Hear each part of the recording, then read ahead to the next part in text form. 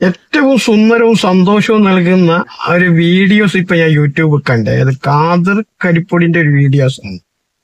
മനാഫിന്റെ മനാഫും അർജുന്റെ കുടുംബവും ഒന്നിച്ചു നിന്ന് സന്തോഷം പങ്കിടുന്ന അവരുടെ മനസ്സിനകത്തുണ്ടായ തെറ്റിദ്ധാരണകളൊക്കെ പരസ്പരം പറഞ്ഞ് അവസാനിപ്പിച്ച് നിൽക്കുന്ന ഒരു വീഡിയോസ് ഏറ്റവും നല്ല സന്തോഷവും എന്താ പറയാ ആഹ്ലാദം തരുന്ന വീഡിയോസ് തന്നെയായിരുന്നു. ഒരു തർക്കവും ഇല്ല.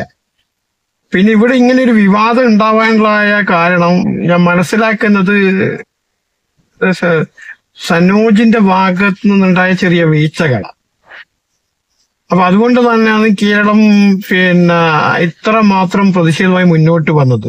നമ്മളൊരു കാര്യം മനസ്സിലാക്കേണ്ടത് അർജുന് അങ്ങനെ ഒരു ദുരന്തം സംഭവിച്ച അന്ന് രാത്രി തൊട്ട് തന്നെ അന്ന് വൈകുന്നേരം തൊട്ട് തന്നെ കാലത്തല്ല കാലത്ത് തൊട്ട് തന്നെ കേരളം ഒറ്റക്കെട്ടായി.